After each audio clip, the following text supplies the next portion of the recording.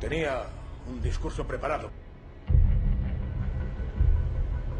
Y parecía bastante bueno hasta hace unos diez minutos. Hablaba de victoria, de campeones y de gloria.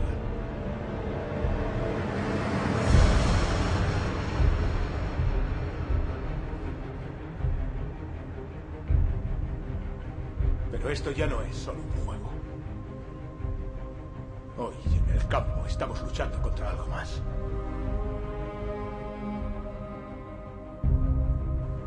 Yo lo veo tan claro como vosotros.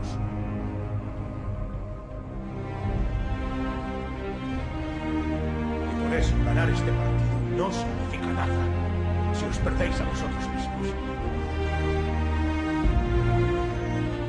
No les regaléis vuestra historia. Guardadla únicamente para vosotros mismos y para los que están en este vestuario.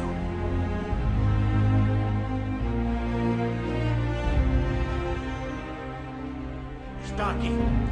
Ya la tenemos y nada ni nadie nos la puede arrebatar, caballeros. Ni los árbitros, ni el público, ni por descontado el otro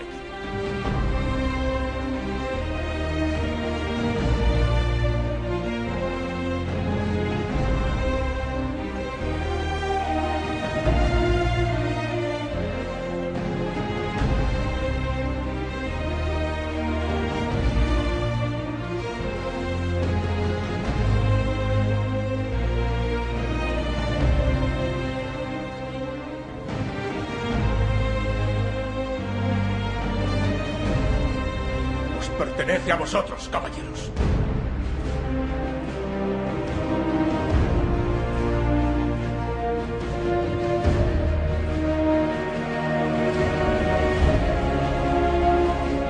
No permitáis nunca que nadie robe vuestra historia.